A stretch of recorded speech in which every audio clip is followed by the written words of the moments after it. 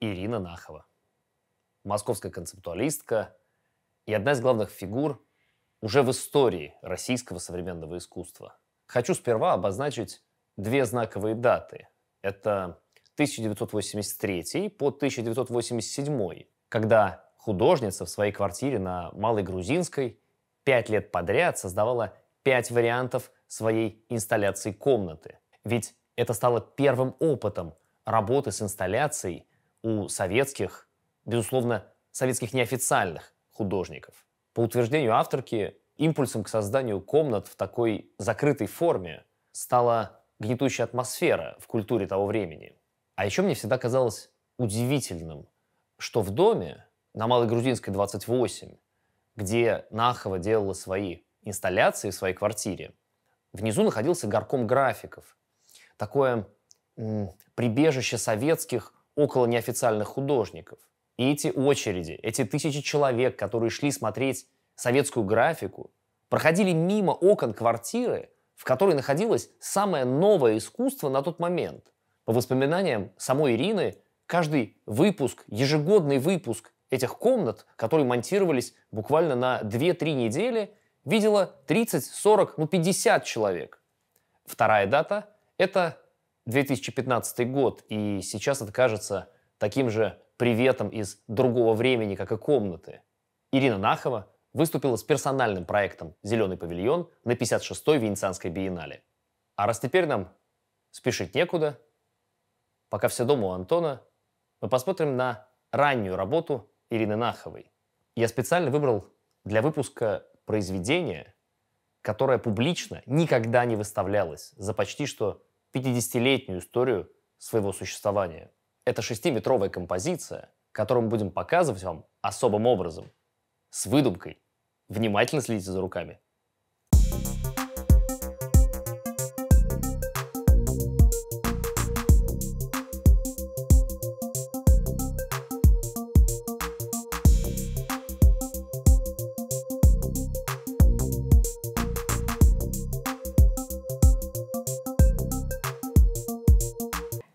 Ирина Нахова э, художник, который традиционно ее причисляют к кругу московских концептуалистов.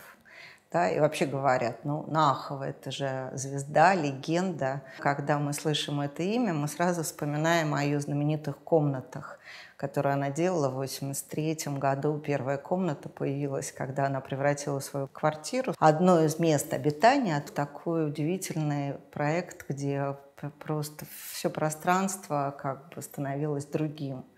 Это не такая тотальная инсталляция, которой занялся в те же примерно годы Илья Кабаков, а именно э, погружение зрителя в такое в как бы головокружительное иное пространство. Вообще тема пространства ее всегда интересовала, и тема иллюзии, и когда зритель входил в эту первую комнату, он как бы буквально терял почву под ногами, потому что и пол, и потолок были равно белыми, и те самые линии, которые наносила на такие же выкрашенные в белый цвет или застеленные белой бумагой а, стены, да, они превращались в такую единую картину. Ты как бы реализовал мечту Василия Кандинского – войти в живопись, да, войти в пространство, где все менялось, где ты становился частью как бы этого мира, частью картины.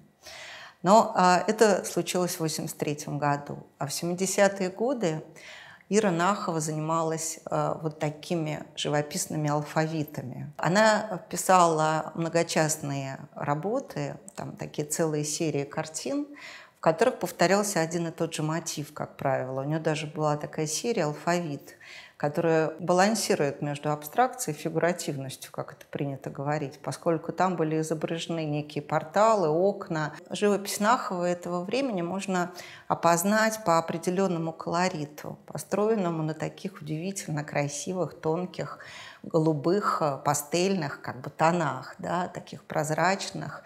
Эти тона ну, во-первых, немножко перекликаются с тем, что делал а, в более ранние или в те же самые годы Виктор Пивоваров, собственно, первый учитель Наховой, потому что все помнят из интервью многочисленных Ирины, а она об этом говорит много раз, что я сто раз повторяла, что то ли в 13, то ли в 14 лет она впервые попала к Виктору Пивоварову, куда привела ее мама, которая работала в Дедгизе, а Пивоваров был известным иллюстратором. И э, с этого момента начала посещать его студию, с ним разговаривать. И она говорит, не то чтобы она училась у него рисованию, но, э, собственно, Пивоваров вел ее в совершенно особый круг общения очень рано да, какая она, опять же, говорит, я была акселераткой, да, и очень быстро как бы начала вот общаться с этим кругом там будущих московских концептуалистов, вообще звезд искусства 70-х. Пивоварова в это же время тоже есть такие многочастные как бы серии, которые он писал, правда, часто не на холстах, а там на листах арголита, писал эмалью, и они изображали залитые светом плоские одновременно пространства два, да, плоские вроде бы, и одновременно пространственные композиции, в которые врывались какие-нибудь квадратики, появлялись человечки. А, вот а, Нахова а, в середине 70-х изгоняет людей из своих картин. Она говорит, что вначале ее интересовали такие сюрреалистические как бы сюжеты с такими странными гомункулусами.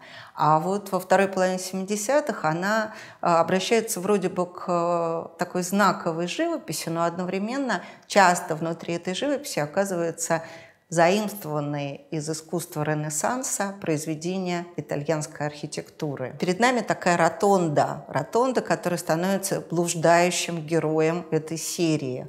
Мы видим, что она выплывает из нижнего края холста, в другом она начинает множество.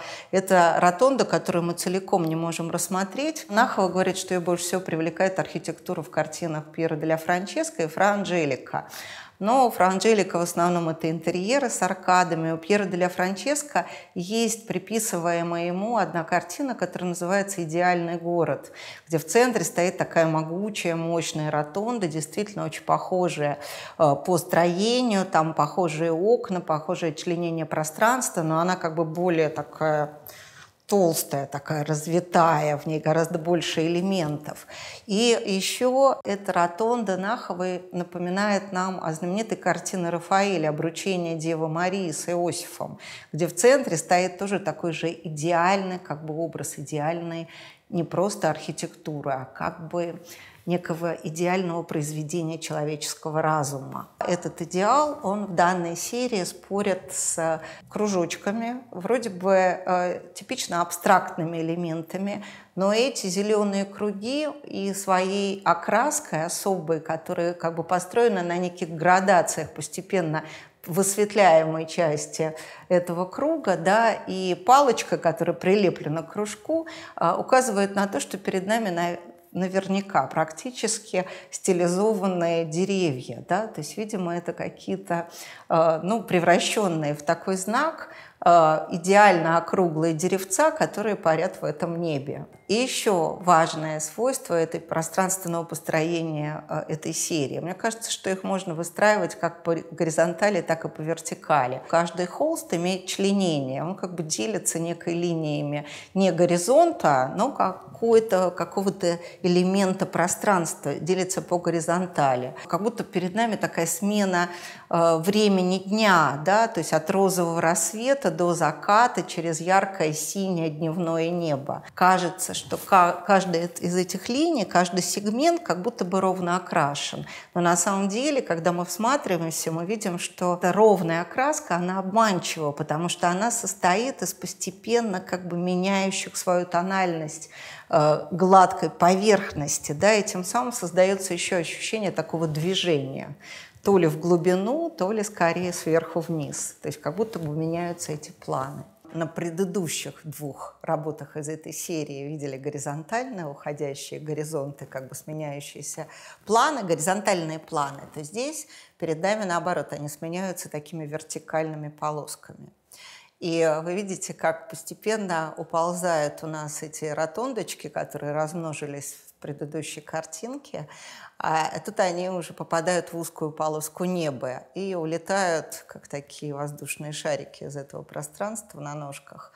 А наоборот деревья или эти зеленые круги становятся главными героями, которые вползают, придавая геометричность этой композиции, но при этом очень интересно, что Нахова как бы не, не соблюдает одинаковой дистанции, поскольку здесь у нас же деревца на, и ствол этого дерева, такая тонкая ниточка, как ниточка шарика, да, то дистанция становится больше, а верхние верхние деревья, они как будто бы вплывают опять в наше поле. То есть вот мы говорим о том, что здесь есть постоянный эффект движения. Очень важно, что вообще Нахова очарована историей культуры и очень любит и на всю жизнь сохраняет эту любовь как к античности, так и к Ренессансу, который будет проявляться, выплывать у нее в различных инсталляциях, в ее знаменитой инсталляции «Друзья и знакомые», которые она озвучивает голосами друзей, где э, вместо этих друзей появляются пальто на манекенах, а на пальто изображения различного рода античных скульптур и статуй. Так же, как в инсталляции «Кемпинг», где появляются античные и средневековые такие скульптуры со средневековых надгробий. И Ренессанс, он никогда не уйдет из ее работ. А, которые тоже постепенно обретут объем и форму и превратятся в такие инсталляции с надувными скульптурами, как в сцене Благовещения, например, с летящими надувными ангелами, которые надуваются по мере приближения зрителя. И вот мне кажется, что вот эта вот работа как бы с пространством и со зрителем, она заметна уже в этой серии очень явно и очень хорошо. Давайте поговорим о периодах в творчестве Ирины Наховой. И тут можно опять вспомнить Виктора Пивоварова. Да? Мы уже сказали о том, что как бы вот у нее возникают прямо с э, самой ранней юности такие точки соприкосновения. И она явно находится под обаянием Пивоварова, что он для нее был таким целым миром, целым открытием. И помимо э, вот неких такого сходства и таких ассоциативного ряда с такими закрашенными ровно плоскостями, с делением на геометрию, э, вот этой связи с работами Пивоварова, мы можем вспомнить о том, что Пивоваров в это время тоже многие работы делал сериями. Она сама говорит, говорит в одном из интервью, что вот это тяготение к серийным проектам, которое осталось э, с ней всю жизнь, да, оно было созвучно пивоваровским. Она видела проекты для одинокого человека как раз в самом начале, когда они создавались, только то есть в 70-м, 71-м году. Но что касается периодов творчества, то интересно, что живопись ей сопутствовала всегда. Вначале у нее были такие сюрреалистические картинки, а такие иллюстрации к придуманным ей же самой таким как бы неким сериалом, да. Потом эти человечки уходят из ее картины, замещаются или абстрактными знаками, или архитектурой, такими как бы формулами, которые парят в этом пространстве. Потом наступает период комнаты, это ее первый выход, как бы шаг из живописи, первый шаг в трехмерное пространство, которое она полностью трансформирует. И эти комнаты, как известно, продолжаются на протяжении пяти лет. Каждый год она на неделю переоборудует свою жизнь совершенно и превращает пространство обитания в произведение искусства. Она уезжает из России после уже Сотбиса и э, впервые начинает выставляться за границей в Европе и в Америке. И я думаю, что там как раз появляются впервые ее такие трехмерные объекты, уже не а, environment, в который она погружает зрителя, а напротив а, объекты, которые постепенно стали интерактивными. То есть они работают на зрителя, они с ним взаимодействуют. Потом возникает тема исторической памяти. И э, она получила как раз э, премию Кандинского в 2013 году за большую инсталляцию, которая была связана с темой истории страны. Как бы там самым впечатляющим было такое большое живописное панно «Руководящий состав», где вместо лиц как бы были вот эти надувные такие шарики, да, которые как бы тоже надувались и сдувались, должны были реагировать на зрителя. И она начинает заниматься активно медиа-искусством. То есть туда, помимо вот таких картин, появляются еще и видео, видео такая анимация, которая как бы трансформирует это пространство, уже нереальное пространство комнаты при помощи коллажа, а вот движущаяся, движущаяся смена как бы этих лиц, эпох. Я думаю, что это было связано еще с тем моментом довольно драматическим в ее судьбе, когда, собственно, умирали ее родители, да, и она создает пронзительные образы, портреты мамы и папы, таких вот в их э, уже очень пожилом возрасте практически предсмертные портреты, где появляется в ее искусстве такое очень трагическое ощущение реальности. И вот эти вот картины, когда на тебя смотрят эти люди, которые как будто растворяются в пространстве, они вообще оказали влияние тогда на ее живопись, ее сознание. У нее появляются картины, которые начинают показывать вот это как бы некое такое разложение реальности, разложение жизни. Ну и дальше, охваченная вообще вот восприятием того, что творится сейчас в мире, в полном катастроф, она начинает создавать такие впечатляющие видеоинсталляции, которые часто тоже сочетаются с картинами, да, где мы видим просто эти толпы людей, какие-то демонстрации, там разгон демонстраций, там катастрофы, катаклизмы. Интересно, что что вот видит она их тоже соотношение с живописью Ренессанса, но только уже не гармоничной живописью Фра Анжелика или Пьера де ля Франческо, а живописью такого позднего Тинторетта, когда вот этот мир несется в тартарары. И вот это вот, мне кажется, то, что сейчас а, увлекает а, Иру Нахову, и то, над чем она продолжает работать. Хотя концептуализм сложно упрощать, но если коротко, о чем творчество Наховой? О чем творчество Наховой? Ну, оно все время как бы меняется. Ее суть, ее творчество. Но сейчас, мне кажется, это больше как бы о, о сложности этого мира, о такой драме, трагедии, о зоне опасности. Я думаю, мне кажется, что у нее произошел перелом вообще, на самом деле, после 11 сентября. Это было очень мощным, потому что она жила же на Манхэттене тогда.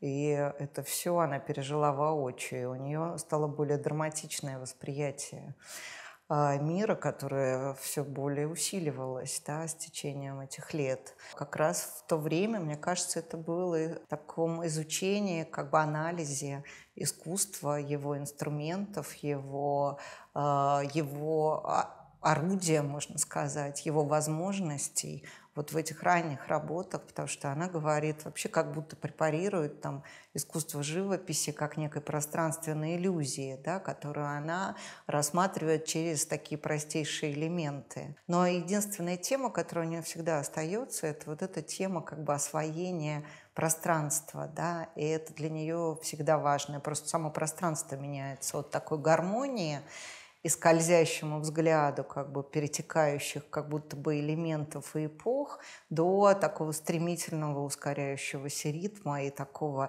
ощущения катастрофического падения или там безудержного полета, за которым ты не успеваешь. Вот это вот для нее, мне кажется, это такая постоянная величина ее искусства. Вы знаете, мы все время говорим про искусство, про работы, про художников. А можете рассказать, как они вместе тусовались? К счастью, у Иры Наховой есть много интервью, которые она давала да, разным друзьям. И поэтому мы узнаем ну, не так много, может быть, она все время говорит, что они все время говорили об искусстве, но мы знаем только, что она очень рано ушла из дома, да, собственно, в 16 лет. Она стала жить самостоятельно, она встретилась с Андреем Монастырским, который был тогда поэтом прежде всего, и это был такой безудержный интеллектуальный круг, и одновременно, я думаю, очень веселый, и вот они начали жить вместе, она вошла в пространство, с одной стороны, то есть пивоваров, чуть более старшего поколения, с другой стороны монастырский. А, и а, когда она получила квартиру в том знаменитом доме Малой Грузинской, судя по фотографиям, которые мы видели с вами тоже, да, в том числе фотографиям Георгия Кизевальтера, да, на вот этой выставке, посвященной мастерским, они устраивали разные костюмированные такие шоу, некие живые картины, странные действия, переодевались в разные костюмы, которые тут же э, фотофиксировали. Преобразование ее комнаты, преображение, она тоже было поводом для того, чтобы собрать друзей, которые были одновременно зрителями. Я думаю, что они э, весело тусовались. Но она рассказывает о том, что и то, что мы читаем все, да, что это было очень интенсивное общение, что ложилась спать она там в 4-5 утра, могла работать ночью, могла просыпаться, да, там потом работать. Э, то есть это было такое время интенсивной работы, интенсивного общения. Но я думаю, весело все-таки, потому что монастырские, по-моему, очень любят танцевать, судя по записям уже поздней мастерской Кабакова. Наверное, потому что, смотрите, монастырский, потом Осип Бакштейн, который, как известно, тоже был большим танцором, судя по его танцам с Ольгой Львовной и Свибловой. Вообще женщин в советском неофициальном искусстве было очень мало. Но женщин-концептуалисток просто, наверное, по пальцам одной руки. Елагина, Герловина, Нахова, мне кажется, что вот эти три фигуры – это самые, самые яркие, самые мощные. И причем они очень оригинальны, они совершенно не похожи друг на друга. Вообще мы не можем назвать это женским искусством совершенно. В основном вот художницы эти, они не любят, когда их называют художницами. Да, они говорят, что художник – это такая профессия как бы на века, но без некого пола. Они никогда не занимались, по-моему, мне кажется, такими чисто гендерными проблемами. Несмотря на инсталляции Елены Елагиной, там э, чистая, детская, да, э, это все все-таки скорее исследование языка, языка и исследование советских реалий, а это не проблемы там женского труда или женской доли, или э, борьбы за эмансипацию. Они совершенно самодостаточные, очень мощные фигуры, которые часто вели за собой своих э, э, спутников и, и как бы побеждали в чем-то их. thank you